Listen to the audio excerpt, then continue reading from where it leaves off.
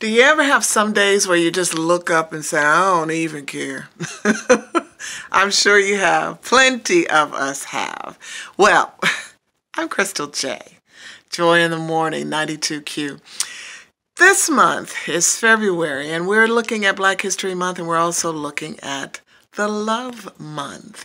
Now, I think it was yesterday I said something about you need to look out for yourself. Not in an ugly way, but in a wonderful way of loving yourself just like the Lord loves you. Now, of course, God loves you 10 times better than you ever could.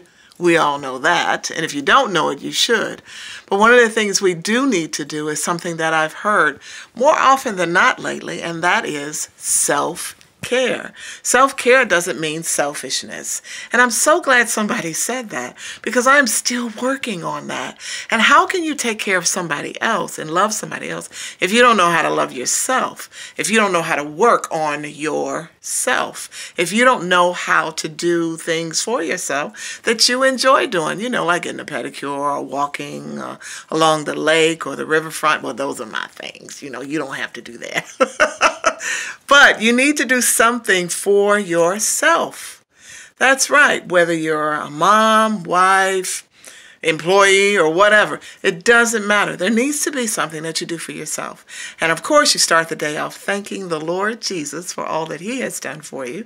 And then, of course, start taking care of yourself. You got to feed yourself before you feed everybody else. And I mean that not just literally, but figuratively as well, and spiritually.